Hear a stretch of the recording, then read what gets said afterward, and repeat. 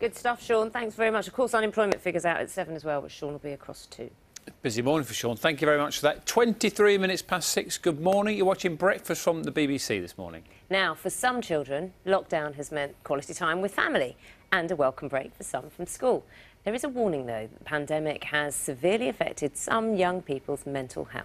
There's new research from the University of Oxford which says primary school children have been the most impacted. It comes as the charity Childline says the number of children visiting their website has quadrupled. Hannah Gray has this report. I'm scared about the coronavirus. I get really afraid that my family and I might get it, as a lot of people have died from it.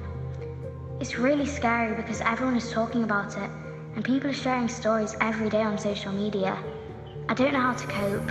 I'm really scared of my dad, especially when he's been drinking. Sometimes he gets really angry and throws things at my mum. It's been getting worse since the coronavirus started. I have no idea what to do. I can't escape because of the lockdown. These are examples of the kind of calls Helen has been hearing since March. She works for Childline and she's really concerned about children's well-being. I think children are the hidden victims of this coronavirus, and um, for, for many children, home isn't a safe place. Um, and you know we haven't got community eyes and ears, schools, health services looking out for children. So that is that is a real worry. People are dying, people are getting ill, and you can't see your friends, your relatives. Sarah is 11 years old. During lockdown, she's done a survey asking 162 children in South Yorkshire how they've been coping.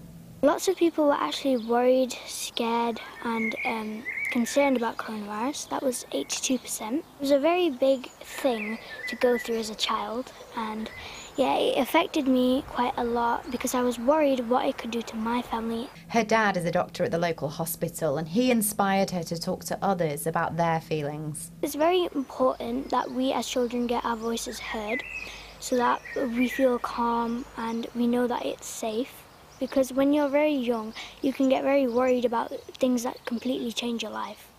A new survey from the University of Oxford asked 10,000 families across England to report on their child's mental health. Secondary school aged children say they're less stressed and behave better out of school, but primary school aged children seem to be finding it more difficult. Parents are reporting that over the course of lockdown, children's emotional um, difficulties, so being clingy or worried or unhappy, and behaviour problems, so having tantrums, getting into arguments, or maybe not doing what their parents are asking them to over that month, those things have actually got worse. Even before the pandemic, the Children's Commissioner said the current system is far away from meeting the needs of all the children who have mental health conditions. Psychologists now suspect there'll be an even greater number of children who'll need support after being isolated for so long. It's our job as, as professionals, as government, as schools to make sure that there is enough support available. You know, these, these effects don't have to be lifelong, and it's important that we all take account of what children and young people are telling us, believe them, and give them the right support to emerge from this intact and able to go on and enjoy their childhood and adult lives.